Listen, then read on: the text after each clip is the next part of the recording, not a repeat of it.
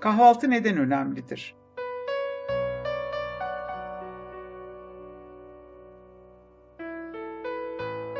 Akşam yemeği ile sabah arasında yaklaşık 12 saatlik bir süre geçer. Bu süre içinde vücut besinlerin tümünü kullanır. Sabah kahvaltısı yapılmazsa beynin kullanacağı enerjide azalma olur. Bu durumda yorgunluk, baş ağrısı, dikkat ve algılama azlığı gibi sıkıntılar yaşanır. Çocuklarda okul başarısı düşer.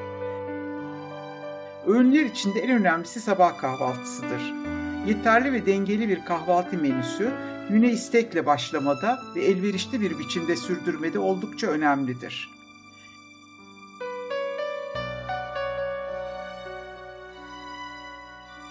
Kahvaltıda protein kaynağı olarak yumurta veya peynir, yeterince enerji alabilmek için ekmek, çörek vesaire, vitamin ihtiyacımız için söğüş sebze, taze sıkılmış meyve suyu ya da meyve tüketilmelidir. Zaman zaman kahvaltılık gevrekler de sütle karıştırılarak ancak bir meyve ile desteklenerek tüketilebilir.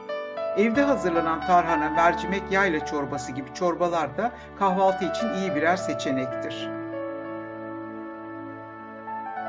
Çocuklar kahvaltıda süt veya meyve suyunu tercih etmelidir. Ancak tek başına yeterli değildir.